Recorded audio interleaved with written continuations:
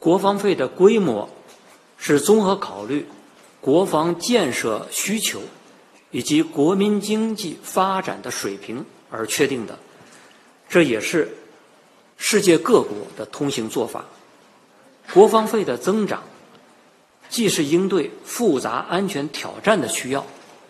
也是履行大国责任的需要。中国国防费占国内生产总值的比重，多年来基本稳定，保持基本稳定，低于世界平均水平，增长幅度也是比较适度和合理的。中国的前途同世界的前途是紧密在联系在一起的。